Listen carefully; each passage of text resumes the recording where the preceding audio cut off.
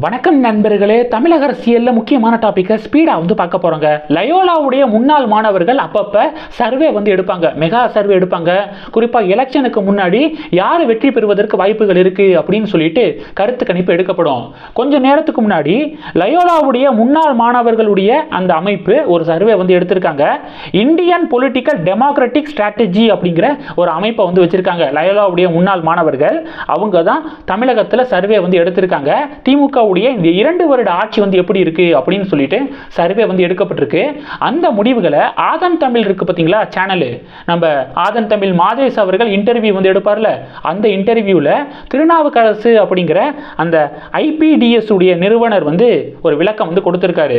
சர்வேல என்னென்ன கேள்விகள் கேட்கப்பட்டிருக்கு? எப்படி வந்து ரிசல்ட் வந்திருக்கு? மக்கள் வந்து திமுக ஆட்சி எப்படி பார்க்குறாங்க அப்படின்னு சொல்லிட்டு நிறைய கேள்விகள் கேட்கப்பட்டிருக்கு. அதற்கு மக்கள் என்ன சொல்லியிருக்காங்க அப்படின்னு ஒரு பெரிய லிஸ்ட்டை வந்து வெளியிட்டிருக்காரு இது தமிழக அரசியலில் மிகப்பெரிய பேசு பொருளாக மாறி இருக்கு இப்போ தமிழகத்தில் அமலாக்கத்துறை திமுகவுடைய அமைச்சர்களுக்கு வீடுகள் எல்லாம் ரைடை வந்து நடத்திக்கிருக்காங்களா இந்த சூழலில் இப்போ வந்து மக்கள் வந்து எப்படி பார்க்குறாங்க திமுக ஆட்சியை அப்படிங்கிற கேள்விகள் வந்து எழுப்பப்பட்டிருக்கு. ஸோ அதை பற்றி இந்த பதிவில் நம்ம டீட்டெயிலாக வந்து பார்க்கலாங்க. அதாவது திருநாவுக்கரசு அவர் பேர். அவருடைய சர்வேல மக்கள் திமுக ஆட்சி மீது கடுமையான கோபத்தில் இருக்காங்க அப்படின்னு சொல்லிட்டு அவர் வந்து சொல்கிறாரு ஃபஸ்ட்டு என்னென்ன கேள்விகள் கேட்கப்பட்டிருக்கு அப்படின்னா திமுக அரசாங்கம் இந்த மது குடி பிரச்சனை இருக்கு பார்த்தீங்களா இதை திறம்பட கையாளுறாங்களா? அப்படின்னு சொல்லிட்டு கேள்விகள் வந்து கேட்கப்பட்டிருக்கு. அதற்கு வந்து இல்லை மோசமாக கையாளுறாங்க அப்படின்னு சொல்லிட்டு மக்கள் சொன்னதாகவும் பிறகு சொத்து வரி வந்து உயர்த்தப்பட்டது மின்சார கட்டணம் உயர்த்தப்பட்டதுனால மக்கள் கடும் கோபத்தில் இருக்காங்க ஆட்சி மீது. குறிப்பாக கிராம சைடில் கூட இது ஒரு பெரிய தாக்கத்தை வந்து ஏற்படுத்தியிருக்கு அப்படின்னு சொல்லியிருக்காரு. மூணாவது பார்த்தீங்க அப்படின்னா இப்போ வந்து திமுக அரசாங்கம் நிறையா திட்டங்களை வந்து தொடங்கி வைக்கிறாங்களே அதாவது பெண்களுக்கு இலவச பஸ் பயணம் அப்படிங்கிற திட்டம்? நகர பேருந்துகளில் இலவசமாக அவங்க பயணம் செய்யலாம் அப்படிங்கிற திட்டம் மாணவர்களுக்கு காலையில் இலவச சிற்றுண்டி இது மாதிரியான திட்டங்கள் இருக்குது பார்த்தீங்களா இதுக்கு எப்படி இருக்குது வரவேற்பு அப்படின்னு மாதேஸ் அவர்கள் கேள்வி வந்து எழுப்பியிருக்காரு.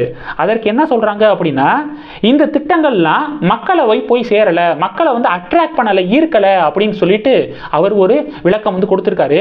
அதிமுக ஆட்சியில் தொடங்கப்பட்ட திட்டங்களுக்கு கூட மக்கள் சைடிலிருந்து நல்ல ரெஸ்பான்ஸ் இருந்துச்சு. ஆனால் திமுக ஆட்சியில் தொடங்கப்பட்ட இந்த திட்டங்கள் பொதுமக்களை அவ்வளவா கவரலை அப்படின்னு சொல்லிட்டு அவர் பேசியிருக்காரு.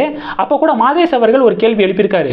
இப்போ கூட செப்டம்பர் பதினஞ்சாம் தேதியிலிருந்து பெண்களுக்கு குடும்ப தலைவிகளுக்கு மாதம் மாதம் உரிமை தொகையாக ஆயிரம் ரூபாய் வழங்கப்படும் அப்படின்னு தமிழக அரசாங்கம் சொல்லியிருக்காங்களே அதை எப்படி பொதுமக்கள் பார்க்குறாங்க அப்படின்னு சொல்லிட்டு கேள்வி எழுப்பியிருக்காரு.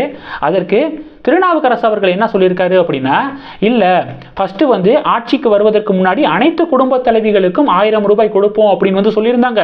இப்போ அதுக்கும் சில நிறைய ரூல்ஸ் அண்ட் ரெகுலேஷனை வந்து கொண்டு வராங்க பார்த்தீங்களா அப்போவே பொதுமக்கள் இதை பற்றி பெருசாக வந்து கண்டுக்கிறது இல்லை அப்படின்னு சொல்லிட்டு குறிப்பிட்டிருக்காரு.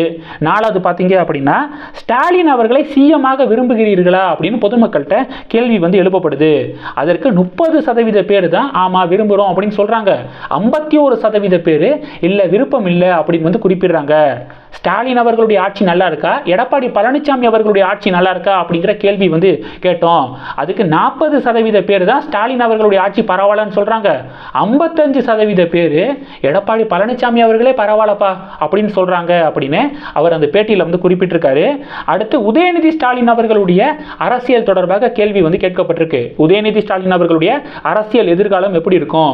அவர் சீஃப் மினிஸ்டராக வருவாரா அப்படின்னு சொல்லிட்டு பல கேள்விகள் கேட்கப்பட்டிருக்கு. அதற்கு என்ன சொல்லியிருக்காருன்னா உதயநிதி ஸ்டாலின் அவர்களுக்கு அந்த அளவுக்கு பெரிய ஒரு மவுஸ் இல்லை பொதுமக்கள் மத்தியில் பெரிய ஒரு பாப்புலாரிட்டி இல்லை அப்படின்னு திருநாவுக்கரசு அவர்கள் சொல்லியிருக்காரு.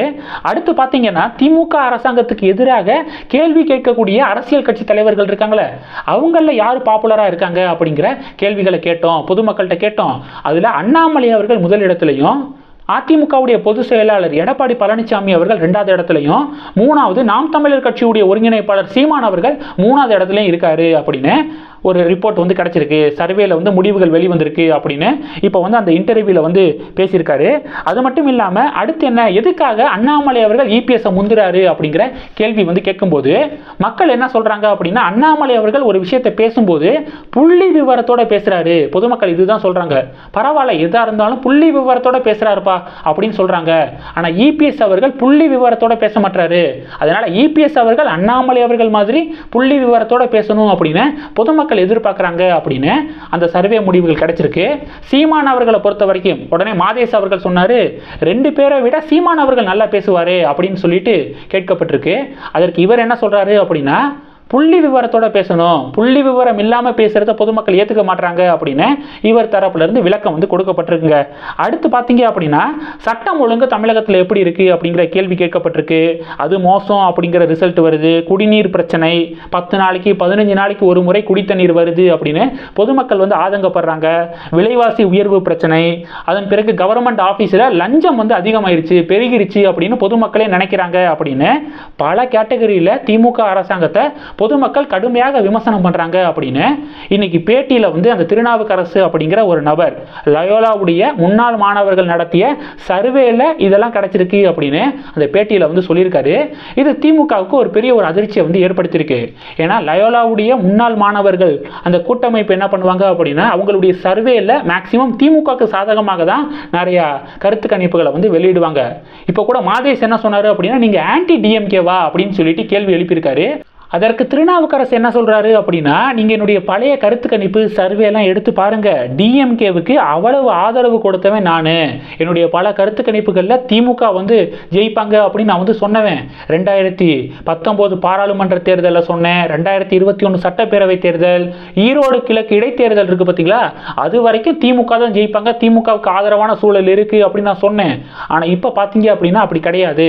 திமுகவுக்கு எதிராக மக்கள் வாக்களிக்க முடிவு செஞ்சுருக்காங்க அப்படின்னு சொல்லிட்டு இப்போ வந்து அவருடைய பேட்டியில் வந்து அவர் வந்து பேசுகிறாரு இந்த வீடியோ சோசியல் மீடியாவில் ரொம்ப வைரலாக வந்து ஷேர் ஆகுதுங்க.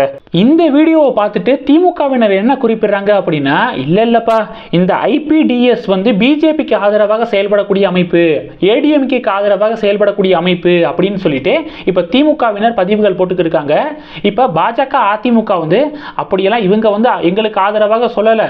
உண்மை ஏதோ அதை தான் சொல்கிறாங்க அப்படின்னு சொல்லிட்டு இப்போ எதிர்க்கட்சிகளும் விளக்கம் வந்து கொடுக்குறாங்க. உங்களுடைய பார்வை என்ன? இந்த இரண்டு வருட திமுக ஆட்சிக்கு நீங்க என்ன ரேட்டிங் கொடுப்பீங்க? பத்துக்கு உங்களுடைய மதிப்பெண் என்ன? மறக்காம காரணத்தோட கமெண்ட் செக்ஷன்ல பதிவிடுங்க. இந்த வீடியோ பிடிச்சிருந்துச்சுன்னா லைக் பண்ணுங்க ஷேர் பண்ணுங்க. மறக்காம நம்ம சேனலை சப்ஸ்கிரைப் பண்ணுங்க. மேலும் நம்ம சேனலுக்கு சப்போர்ட் பண்ணணும் அப்படின்னு ஆசைப்பட்டீங்கன்னா நான் பேசக்கூடிய வீடியோக்கு கீழே நன்றி அப்படிங்கிற ஆப்ஷன் இருக்கு. அதை கிளிக் பண்ணி உங்களால் முடிந்த தொகையை சேனல் வளர்ச்சிக்காக கொடுத்து உதவி செய்யலாம். இல்லை ஜாயின் பட்டனை கிளிக் பண்ணி நம்ம சேனலுக்கு மெம்பராக வந்து ஆகலாம். நன்றி. ஜெய் ஹிந்த்.